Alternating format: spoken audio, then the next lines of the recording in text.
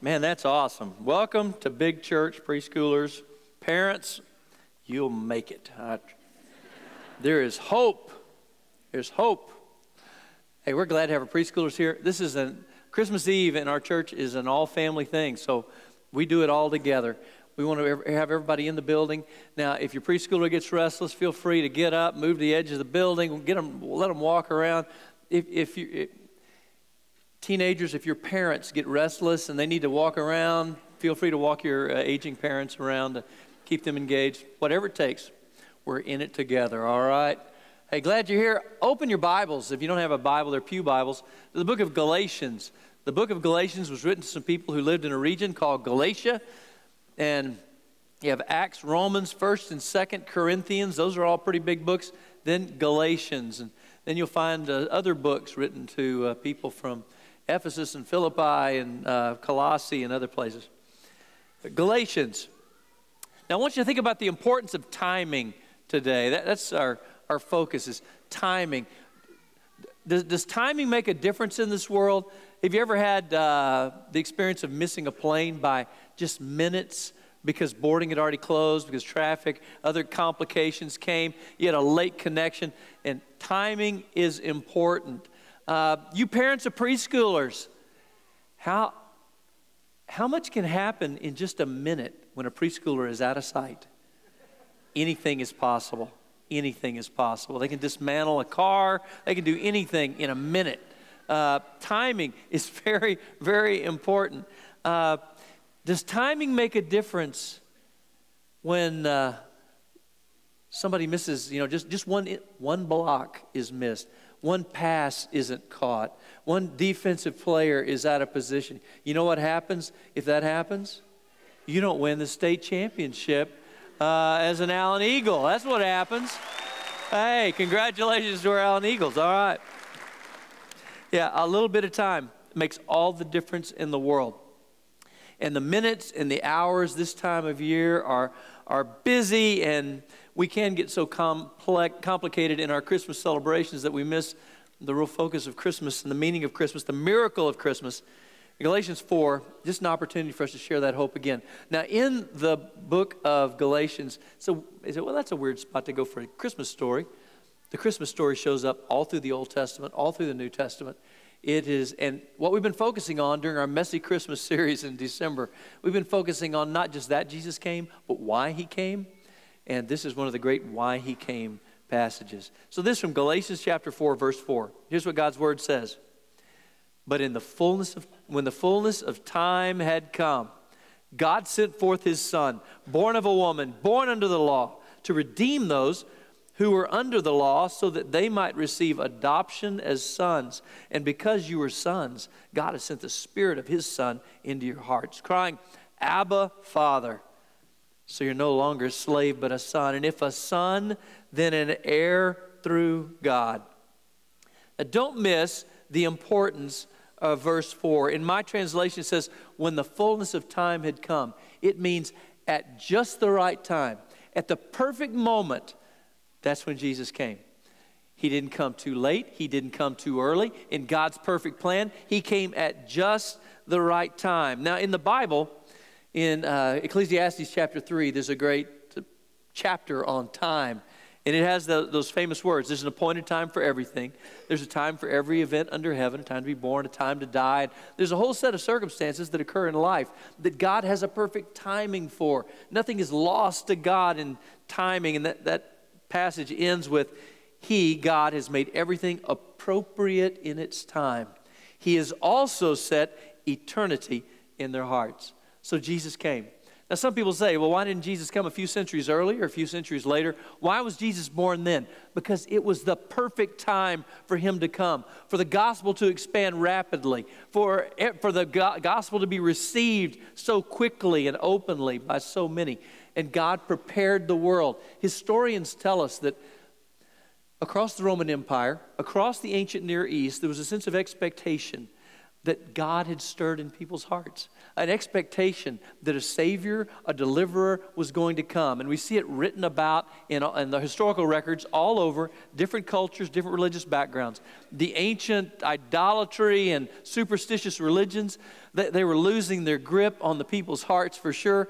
People were searching. Isn't there an answer? Isn't there something that, that holds truth, that truly gives hope? Isn't there something else? Available to us. And the miracle of Christmas is the miracle of the moment. At just the right time, God sent his son into the world. I want to tell you this the miracle of Christmas is not just that God came into the world, the miracle of Christmas is why he came to take away our sins. And the miracle of Christmas is he still comes to our lives at just the right time when we need him most. Romans chapter 5 says, When we were utterly helpless, Christ came at just the right time and died for us sinners. When do you need a miracle? When, you, when you're feeling helpless and hopeless, when you've exhausted your own resources, when there's nowhere else to turn, when you know, okay, there's, there's nothing I can do to change this circumstance. That's when you're the best position to receive that miracle from God, that word from God, that word of, of, of hope and and peace and love and joy, all those messages that come with the story of Christ. And here's the thing about Jesus He came at just the right time. God's been doing that for a long time, all through the Old Testament. He comes at just the right time. And He still comes today at just the right time when we need Him most. Let's pray. Father, on this day, I pray that you be working in us. I pray, God, that we would hear your voice we'd find what we need for what for this day, for our lives, at just the right time. In Jesus' name, amen. Good morning. Let me tell you a story from the Old Testament about timing and desperateness. Um, during the ministry of a prophet by the name of Elisha, a lot of miracles showed up on the scene. Um, this uh, story I'm getting ready to tell you it's going to start out and it's going to sound like something that happens probably every day, and it's probably happened today in Dallas. And the story starts out about a man who died and passed away, and he left a young widow and presumably two young boys in this home. We don't know much about the guy. We don't know how he died. We just know he passed away. He died. Um, we do know, though, that he was a God fearing man and uh, he was the son of a prophet. We also know that he left the family in a bad place financially. Um, in fact, we get the added detail that, um, that the woman who was left behind, the two boys, they were such in bad debt that the creditors in that area were coming to bear on her and they were demanding uh, money, and if she didn't give the money, that they were going to take the two boys and sell them as slaves. So it's, it's really a bad situation. And so at this point, I, I often ask myself, where's her family? Right? Where's the community? Where's the people she knows? We're, we're told her husband was part of the faith community. He was a son of a prophet. So where's the faith community? Nowhere to be seen. And it's very clear from this story that the, the community was, was going to let this woman, this widow, and her two boys just implode on each other, and they didn't give a rip. What I also didn't tell you is this story just shows up in 2 Kings chapter 4. It just shows up. There's no warning, there's no lead up, there's no nothing to follow up. It just bang, it's right there in the middle of the Bible. And many people believe that this story was dropped in to demonstrate and to illustrate how bad things had gotten in the nation of Israel, that it's at the point where there's a man who dies who's part of the faith community, and the community would allow this woman and her kids to implode upon themselves, and they didn't care. When a community reaches that point, they're at a really dark place spiritually. So the story picks up. What does this woman do? Well, she does what any religious or people would do. They run to the most religious person they know. And they run to Elijah, who's the prophet. And Elijah, she comes to him, and Elijah says, All right, what do you got in your house? He's thinking like a man. we're going to put something on eBay or Craigslist. What do you got? We can sell. And she says, uh, All I got is this little jar, this clay jar of, you know, just a little bit of oil left. That's all we got. And he said, Great. Tell you what, take your boys, and I can relate to this as two boys. I have a brother. Send them into the community and collect all the empty jars you can get. And so they start running through the community. Now, by the way, this is the only thing the community provided for was a bunch of empty jars. That's worthless. So they collect empty jars and they come back. And he said, uh, not enough. Go back and get some more. So the boys run, get some more empty jars, and they bring them into the house. They said, There ain't any more empty jars in our community. He goes, Great, shut the door, which is pretty cool. He just wanted them to experience this. He said, All right, this is what I want you to do. Take that original jar, clay jar that just had a little bit of oil, and what I want you to do is I want you to start filling all these jars with that one little jar. I know what you're thinking. You're like, what? You know, but when you're desperate, you're going to do whatever they tell you, right? So, sure enough, she starts filling the jars. And you know the story. She fills every single one of them up, and then she gets to the last jar, and there's no more oil. So she filled this whole room. So her house is full of oil, and oil was a commodity back then. It was like money. And so he looks at her and he goes, Go sell those jars and pay off your creditors. End of story. That's it. No, nothing more. I've got to believe years later, they're still telling that story in that community. In fact, it was, it was memorialized in the Bible. Think about it. Years later, those two boys, eh, I'm sure they got married, had kids and grandkids, and those grandkids would come up to their grandfather and go, Tell us about the day that, uh, that God showed up with the oil. See, that day, God's timing produced a desperateness in that woman and also produced a rapid obedience, and they all converged to grow her faith and her trust in God and to make God look good.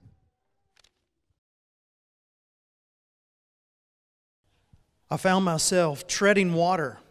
The waves were lapping around me, and the events of the few past week were just rushing through my head. For you see, the word of the Lord had come to me and said, Go preach to Nineveh because of their wickedness, that they may repent. Really? Are you serious? Nineveh, the capital of the Assyrian Empire, our sworn enemy? I didn't want them to re- be, be able to repent or to be spared. So I decided that I would board a ship headed in the opposite direction to the city of Tarshish. Well, not long into our voyage, a storm arose, and the winds were so fierce that the seasoned sailors feared not only for the boat, but for their very lives. They tried everything that they knew to save us. They threw the precious cargo overboard to lighten the ship, but to no avail. So they decided to draw straws, and I picked the short straw and I confessed that I was fleeing from God's appointed message and journey that I was supposed to take. And I told them that if they would just throw me overboard, that all would be well. But no, they tried to row back to shore, so the storm became more fierce and worse than it was before. And left with no other option, they threw me overboard, and the storm was quieted. So there I was, treading water, my strength running out, no hope in sight. I found myself in a situation worse than anything I could ever think of. And then at just the right time, God sent a gigantic fish to swallow me and to save my life. You know, there I was, no hope, running out of resources and strength headed in my own direction. And all the time, God was pursuing me to show me His love for me. And I remembered that God was not done with me yet. Being a disciple, I got to see so many great things that Jesus did. Walking beside him, I got to see miracle after miracle and see him love people in, in every day. But this one story stands out to me, and it was towards the end of his time here on earth. And we were on the outskirts of the Jerusalem. We stayed away from Jerusalem because we had just run across some opposition. They wanted to stone us. And so we knew that we had to stay away from Jerusalem. And we were in the outskirts just sitting there ministering to people. And Jesus was loving on people and talking about how he was going to pay the price for all of us. And we were wondering what this was. And then all of a sudden, we had this servant come and said, Jesus, your beloved brother, your beloved friend, Lazarus, he's sick, and we need you to come and heal him. Jesus looked at him. And we knew that we couldn't go back because this means that we would be stoned. And so Jesus said, I, I, I will come, but we're going to wait two days. And we waited two days in the outskirts. And we kept on ministering. And, and as disciples, we were wondering, why are you not going? You can heal him. We've seen you heal so many people, and this is someone that you love, your friend, Mary and Martha's brother. Why are we not going to heal him? Two days went. And Jesus says, Lazarus has fallen asleep. We need to go to Bethany. Well, the disciples, we all looked at each other and said, You know, this is going to cost us our lives. They're looking to stone us. There's opposition that faces us. But Jesus says, No, we're going to go. And Thomas says, We're going to follow. We're going to follow him. And so we went. We went to Bethany. But before we got to Bethany, Martha comes running up to Jesus. He's dead, she says. You're too late. If you had come earlier, then you could have saved him. You could have saved him. You're, you're too late, Jesus. And he looks at Martha on the ground with tears flowing. And he says, I am the resurrection and the life. Those who believe in me will never experience death but have eternal life. And she looks at him and he says, Do you believe this, Martha? And she says, Yes, Lord. Yes, I believe this. Martha went back and she got Mary. And see, Mary was surrounded by the community because in that day when someone passed away, the community would come around and they would just sit in the house as a comfort. Wouldn't say anything just to be a comfort. And Mary left and they wondered Mary must be going to the tomb of Lazarus. So they followed her. And she ran to Jesus and said the same thing that Martha said You're too late, Jesus.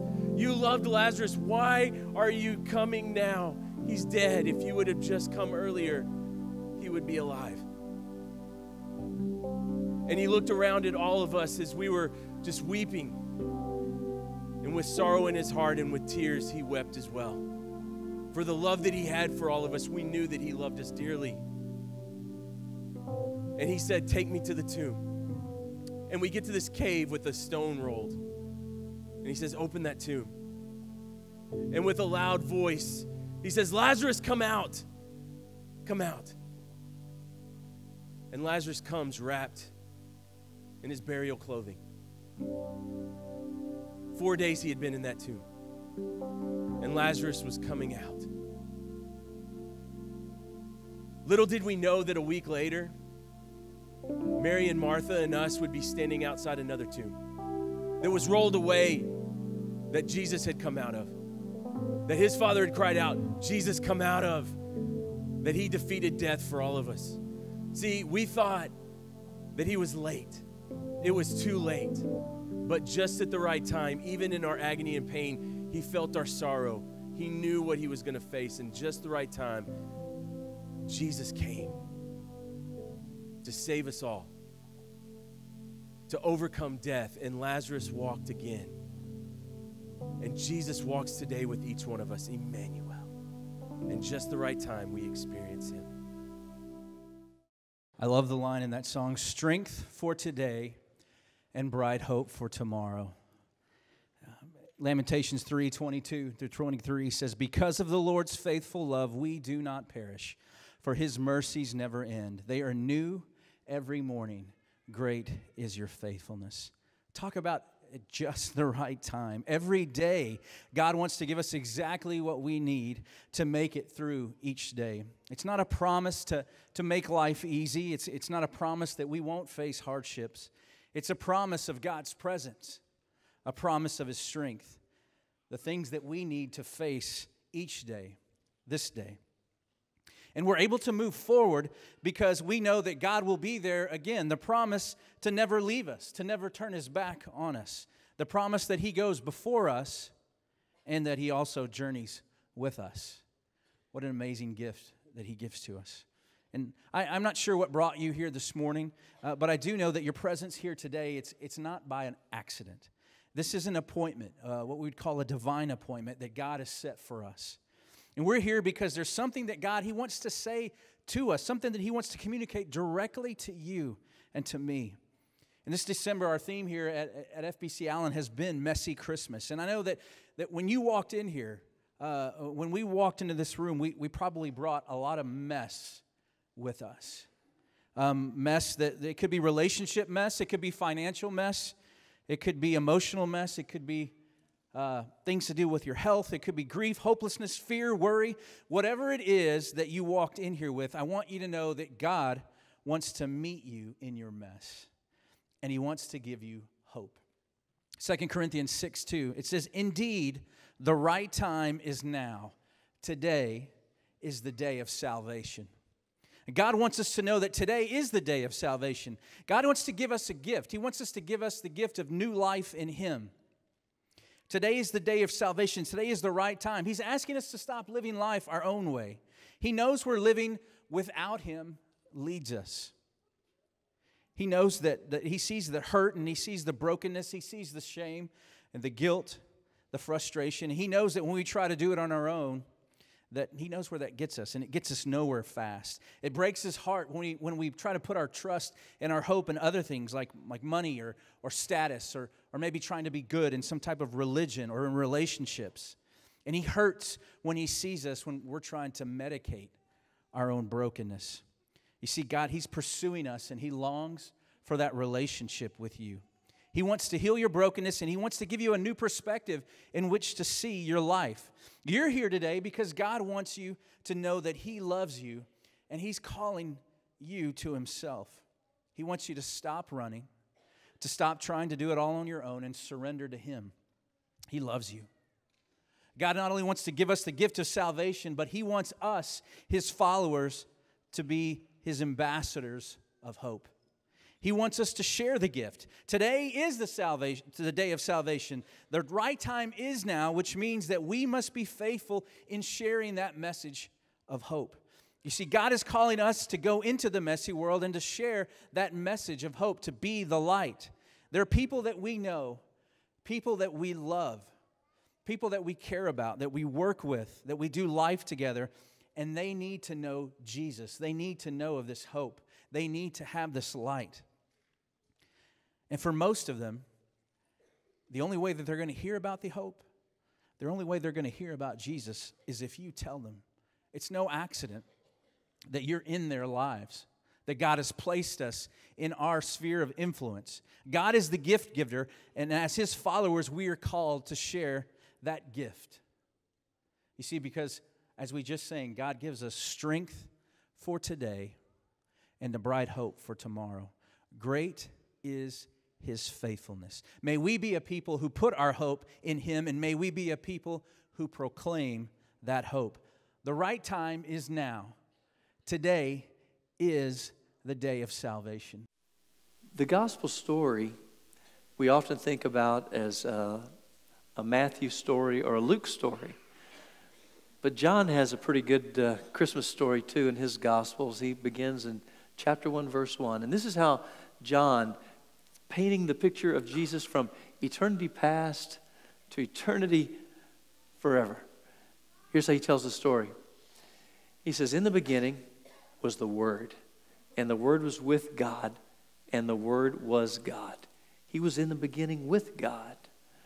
All things came into being by him, and apart from him, nothing came into being that has come into being. In him was life, and that life was the light of men. And the light shines in the darkness, and the darkness could not overpower it. In John chapter 8, Jesus described himself in one of the great I am statements. There's several of I am statements of John's gospel. And Jesus said, I am the light of the world. He told us this too.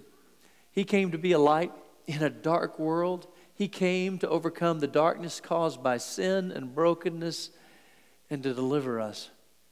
Give us hope and help and peace and comfort and joy and victory and to experience the love of God. But, but all those things are not something just to be, to be cherished in our own hearts, but always is to be shared. In Matthew chapter 5, in the Sermon on the Mount, this is how, this is how Jesus said it to his disciples. These are the people who are following him. And this is what he said to him. He said to them, He said, You are the light of the world. Now, it's not just that you've experienced Jesus as the light of the world, but you are the light of the world. And he entrusts to us this good news of Jesus that we would pass it to the rest of the world, that the whole world would know that there would be no place left in Allen, Texas, no place left in Collin County, in this state, in this nation, to the ends of the earth. There would be no place left where the good news of Jesus, the light of the gospel, has not been declared. And so, because of faith in Jesus Christ, Jesus is the light of the world, and I am the light of the world, and you are to be the light of the world.